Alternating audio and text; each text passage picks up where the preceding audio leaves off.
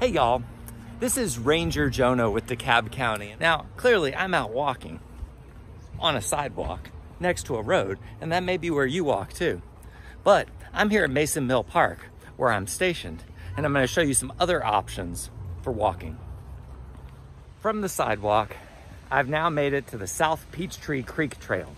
This is one built by the Path Foundation, maintained by DeKalb County, and it's a wide, beautiful paved path for runners, walkers, and of course bicyclists as well. This path makes for a beautiful way to enter the forest. As you can see, it's very well used and check this out.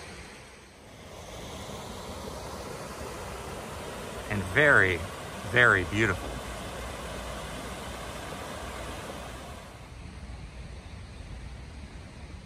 And now I'm on a boardwalk. This is a really great place to walk because it gets you up to the level of the forest and you can look down over the wetlands. Check it out.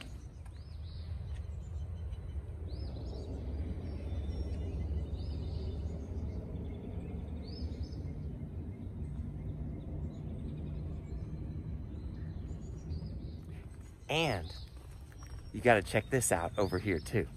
Come on an American bittern, which is a bird that doesn't usually spend much time in Atlanta, is right down in the wetland below me, hunting. I'm gonna show it to you. I just learned that when it wiggles back and forth like that, it's a hunting technique for hiding itself in the reeds in the wetlands that it usually lives in farther south of us.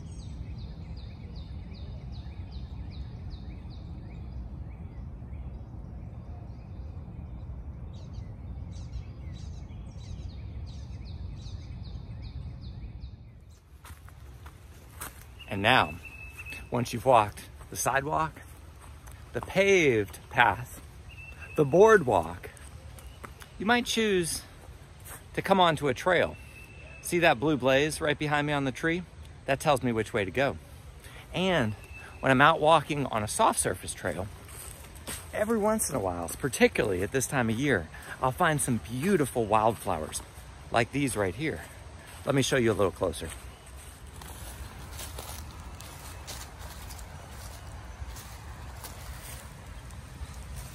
They are very, very small.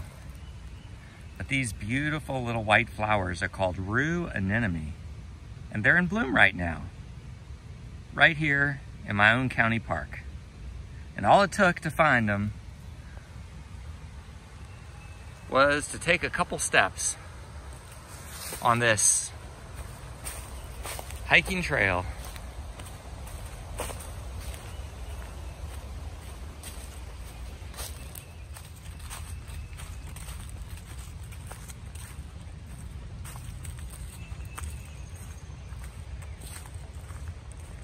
now we're back to the paved path.